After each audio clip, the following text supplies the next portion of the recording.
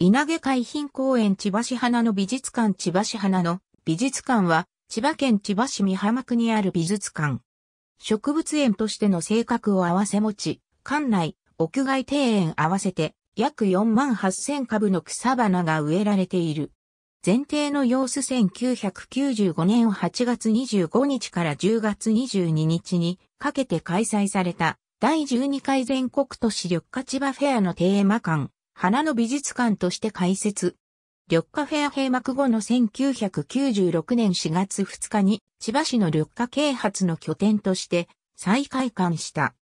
温室棟、展示棟、休憩棟と屋外の前提、中庭、校庭などで構成され、合わせて約1600種、4万8000株の植物が植栽されている。温室には熱帯、亜熱帯植物が育ち、展示棟では室内花壇の他に花に関連した多彩な活動が行われ、企画展示、講習会の開催や園芸相談も受け付けている。2011年3月11日に発生した東日本大震災で被害を受け一時閉鎖されたが、校庭のローズガーデンの部分オープンを経て9月16日に再開した。2013年1月、命名権を山陽メディア株式会社が3年間の契約で取得し、山陽メディアフラワーミュージアムの新名称が使われることとなった。ネーミングライツの期間が終了し、2021年4月1日、千葉市花の美術館に戻る。展示棟、温室、休憩棟と屋外の前庭、中庭、校庭、脇庭で構成され、このうち前庭、校庭、脇庭は無料で観覧できる。館内、屋外庭園合わせて約1600種、4万8000株が植えられた。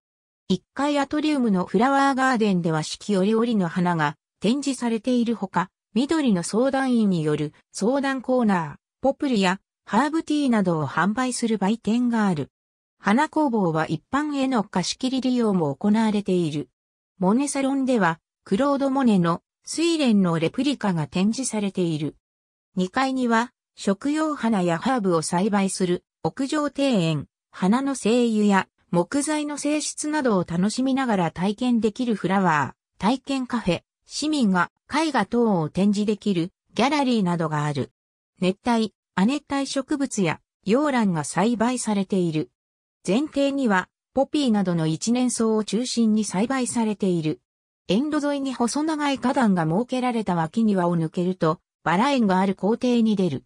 校庭には団体利用者が雨天でも昼食を取れるようバンガローが設けられている。花の美術館1階、稲毛記念館1階、稲毛民間航空記念館1階、他園内多数に車椅子トイレ完備。